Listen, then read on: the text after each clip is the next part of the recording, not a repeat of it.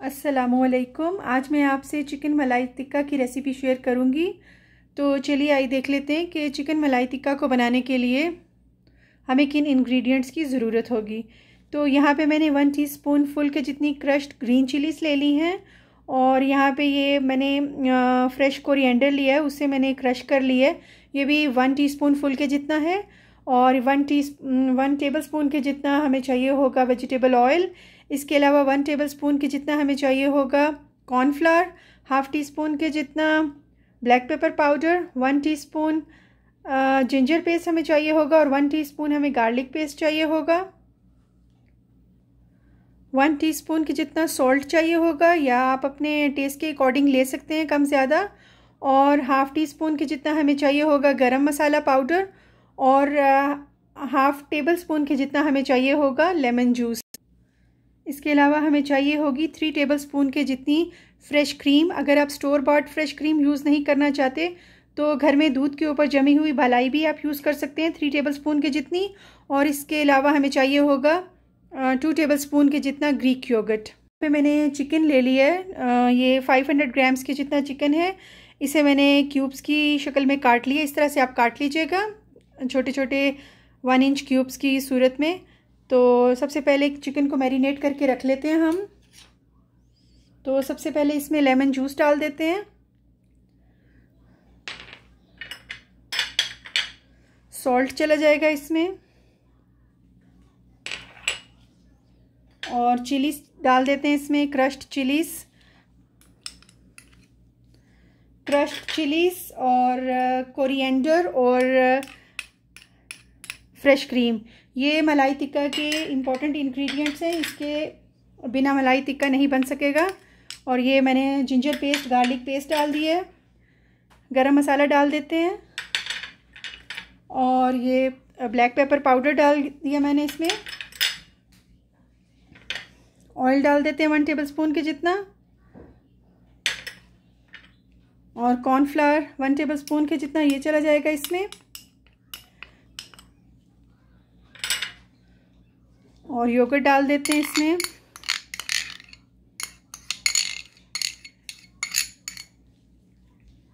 और इसमें चली जाएगी बलाई फ्रेश क्रीम अब इसको अच्छे से मिक्स कर लीजिए आप। और इसको छोड़ दीजिए एक घंटे के लिए मैरिनेट होने के लिए। अगर आपके पास ज़्यादा टाइम है तो आप इसे ज़्यादा टाइम के लिए भी छोड़ सकते हैं। बहुत अच्छे से मैंने मैरिनेट कर दिए तमाम स्पाइसेस के साथ। अब हम इसको तकरीबन एक घंटे के लिए मैरिनेट होने के लिए छोड़ देंगे और एक घंटे के बाद हम इसे कुक करना स्टार्ट करेंगे। तो चलिए इसको रखते हैं एक घंटे के लिए मैरिनेशन के लिए और उसके बाद हम इसकी कुकिंग स्टार्ट करेंगे। मैरिनेट किए हुए तकरीबन एक घंटा हो गया अभी इसको स्क्यूर्स पे लगा लेते हैं और फिर इसको कुक करना स्टार्ट करेंगे। बहुत अच्छा से ये मैरिनेट हो गया है। तो ये स्क्रूज़ को मैंने पानी में भिगो के रखा हुआ था ताकि कुक करते हुए ये बर्न ना हो। तो अभी हम इसको लगाना शुरू करते हैं।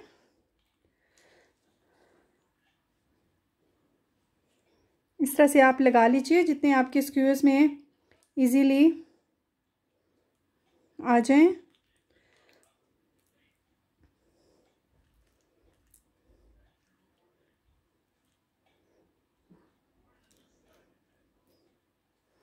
बस फोर पीस ही लगाते हैं एक स्क्वायर पे। तो इस तरह से तमाम लगा लेते हैं।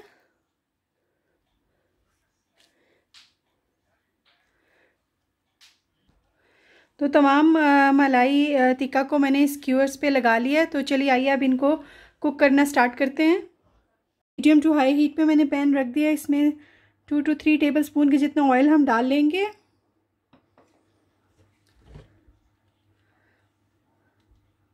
और अभी हम इसमें तमाम स्क्यूर्स मलाई टिक्का के रखना स्टार्ट करेंगे। देख लेते हैं पैन में कितने आ जाएँगे। इतने ही रखेंगे एक टाइम पे।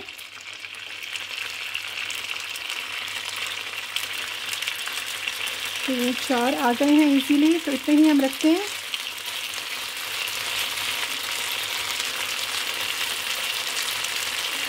हीट आप मीडियम टू हाई पे रखिएगा।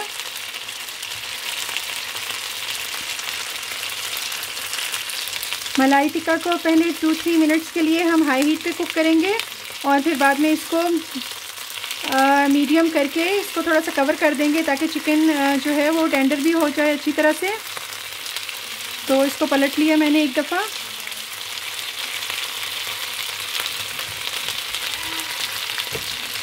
तो अभी इसको थोड़ा सा कवर कर देते हैं और इसे पकने देते हैं। आइए चिकन को देख लेते हैं। पलट लेते हैं चिकन टिक्का को। बहुत अच्छे से इस पर कलर आ रहा है। थोड़ा टर्न कर लेते हैं इसको। तो बस इस तरह से मीडियम टू लो पे अब आप इसको कुक कीजिएगा। अगेन इसको कवर कर दीजिए और इसे कुक होने दीजिए। चलिए आइए चिकन मलाई टिक्का को देख लेते हैं। काफ़ी अच्छा सा कलर आ गया है दोनों साइड से। यहाँ चीज़ पे भी दोनों साइड पे आ गया इस पे भी ऑलमोस्ट डन है ये।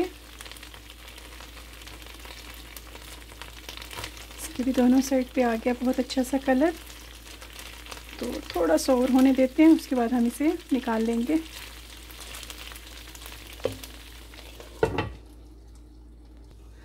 तो चलिए, इन दो स्क्यूअर्स को मैंने एयर फ्रायर में कुक किया है। ये देखिए, ये एयर फ्रायर में कुक हुए हैं। ये भी बहुत अच्छे कुक हो जाते हैं एयर फ्रायर में।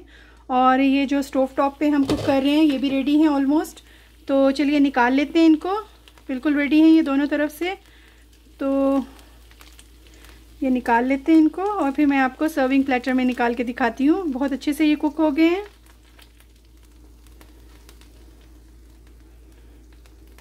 तो चलिए आइए चिकन मलाई टिक्का बिल्कुल रेडी है. इसको मैंने सर्विंग प्लेटर में निकाल लिया है.